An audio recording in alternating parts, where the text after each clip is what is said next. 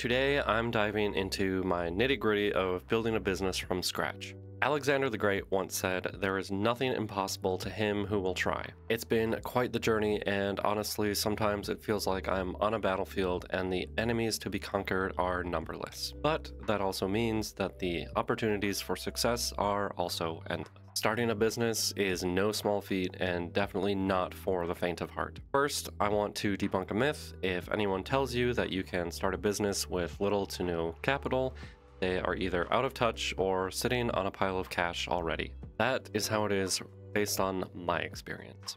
Speaking of tough truths, let's talk about dropshipping. Dropshipping might seem very tempting with all those videos floating around, promising easy money, but trust me, it's not worth the headache, and the return really isn't that great.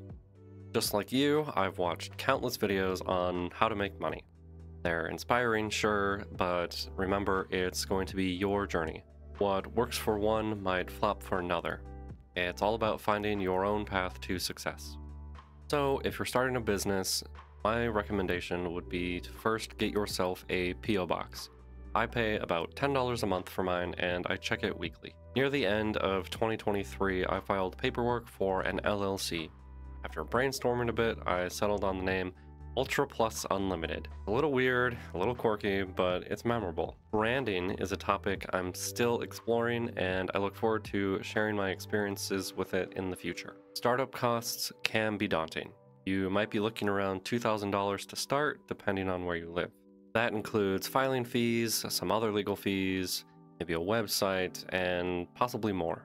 I'm not a millionaire yet, so as a member of the working class, I understand that funds can be tight. The advice that was given to me was to sell things that I don't need. I ended up having over $1,000 in computer parts just lying around that I sold on eBay. I recommend to try and avoid using credit as much as possible. Credit in general can be a very slippery slope. I ended up having to dip into some crypto investments, but I decided it was going to be worth the hit in the long run. Every business needs a website. It's super easy to set one up yourself. Check mine out, the link is in the description. Also, while you're there, sign up for our monthly newsletter. I personally use Wix, but there are plenty of other hosting services out there, and from my experience, they're pretty much all the same. And no, this video is not sponsored. My experience in IT at a managed service provider has given me the insight to know that eventually you can, and most likely probably will, move your site to your own web server. So whoever you pick today is not a permanent choice, but keep in mind that a move does come with a cost. If I could start over, I would wait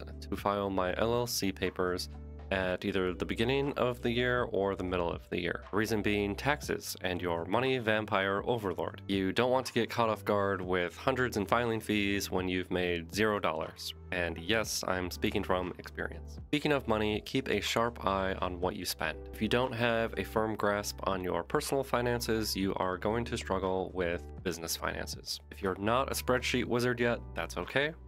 No worries. Here's a quick crash course for you. The main formulas that you'll need in Excel or Google Sheets are these. And just like that, you're practically a pro. So, what's my business all about? Oh, well, thanks for asking. Ultra Plus Unlimited is focused on personal growth and motivation. I run two up and coming YouTube channels, sell branded merch, and I also offer 3D printing services. Also, I've started an AI influencer on Instagram. I'm very curious to see where all that leads to, but I'm sure the journey is going to be very exciting and very interesting. If you're intrigued and want to learn more, make sure to subscribe to this channel and sign up for the monthly newsletter on my website. Your support means the world to me. Building a business is tough, but it's also one of the most rewarding things I've embarked on. Remember, there is nothing impossible to him who will try. As always, stay vigilant. Thanks for watching. If you haven't already, hit that subscribe button. Also, be sure to drop a like and leave a comment. Your constructive feedback is crucial to my success and helps me make better and better content. Also, make sure to visit my merch store and check out my Patreon. Links are in the description.